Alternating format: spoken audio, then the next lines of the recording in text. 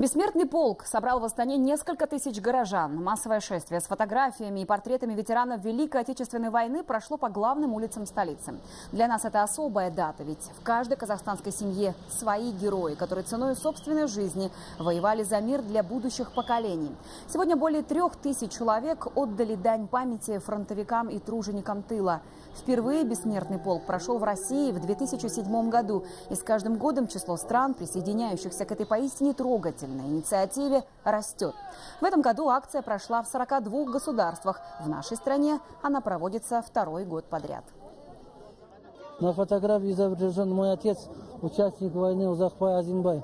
Он 17 лет добровольцем ушел на фронт, написал рапорт на Чуйского военкомата Джамбульской области воевал немцами, был разведчиком. После э, победы на Берлине их направили дальше для прохождения дальнейшей службы, воевали с японцами. Он после войны активно участвовал в общественной жизни, э, у нас был бригадиром в совхозе, э, членом партии, воспитал семь сыновей, трех дочерей, 30 внуков.